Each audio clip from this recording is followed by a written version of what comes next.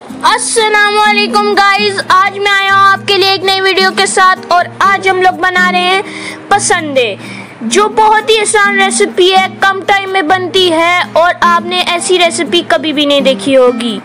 इसके हैं ये इंग्रेडिएंट्स और ये बच्चों के लिए बहुत ही फ़ायदेमंद होती है, उनको ताकतवर बना देती है भाई। जैसे मैं किसको एग्ज़ाम्पल में लाऊं? जॉन सीना को आपने देखा होगा ना, वो पसंदे खाता है, आपको पता चले हमने आपने किसी बहुत ही स्पेशल कसाई से ये पसंदे कटवाने और हमने ये दस्ती के बनाए जबकि बनते रान के हैं मगर ये कसाई थे ही बड़े अच्छे अंकल। यानी कि इतने माहिर थे कि उन्होंने पस, पसंदे दस्ती के बना दिए।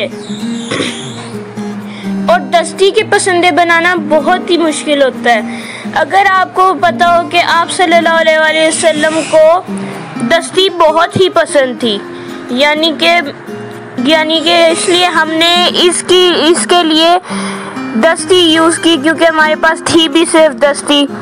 तो हमने गोश्त काट लिया है। अब मैं आपको बताऊँगा इसकी रेसिपी पूरी।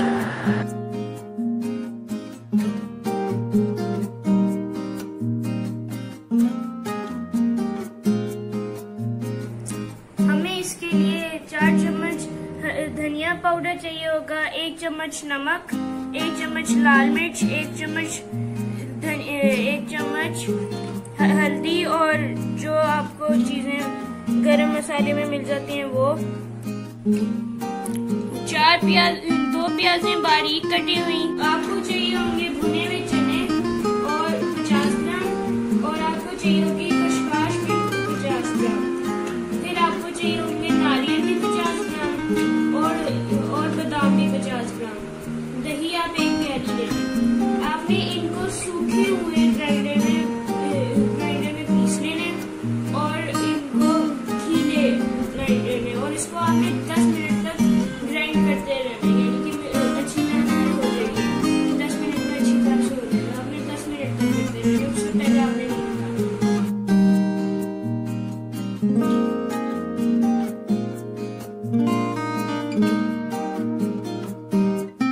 प्याज को गोल्डन ब्राउन करने के बाद आपने अलहदा कर लेना है और उसके बाद और जो खोपरा और बादाम और जो दही का जो मिक्सचर है, उसके अंदर आपने ऐड करने के बाद ब्लेंड कर लेना है इसको।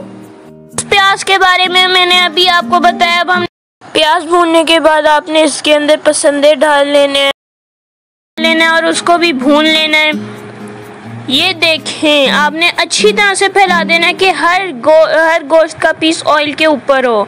इसके अंदर हम लोग डालेंगे अपना गरम मसाला, जो मैंने आपको बताया था थोड़ा सा गरम मसाला डाल देना। है ये सारे पाउडर हम, मैं आपको बता चुका हूँ।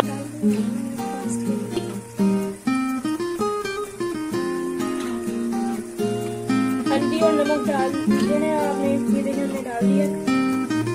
और और और ज़्यादा पसंदों को गलने के लिए डेढ़ घंटा लगेगा और आपने चार कप पानी डाल के इसको मीडियम आँच में छोड़ देना है कर देंगे अपने आलू। और ध्यान से डालिएगा कि आपके ऊपर छींट ना आ जाए।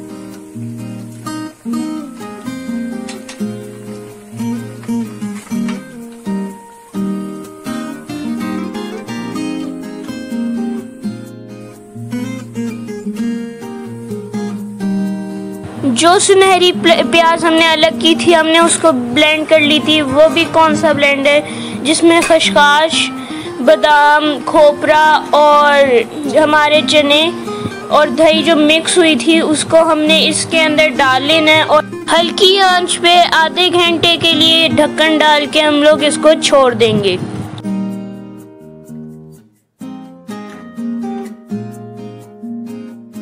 Revealing dish, and it is, wow, वो देखें ये खुशबू ही खुशबू। दूर दूर तक आएगी। वाओ ग्रेवी ये दानेदार ग्रेवी बनी है, मज़ेदार। इसका रंग देखे कितना खूबसूरत है। मैं तो अब इसको खाऊँगा और वो भी मज़े से। आपने ये ट्राई ज़रूर करनी है डिश मुझे कमेंट सेक्शन में बताना है. इस वीडियो को आप लाइक करिएगा शेयर करिएगा और सब्सक्राइब करिएगा और अपने दोस्तों को भी कहेगा कि सब्सक्राइब करो. मुझे आपकी बड़ी सपोर्ट चाहिए और अल्लाह आपको खुश रखे, अल्लाह आपको आबाद रखे, आपकी आखिरत में भी कामयाबी हो और ज़िंदगी में भी कामयाबी हो. अल्लाह हाफिज़, मिलते हैं अगली वीडियो में.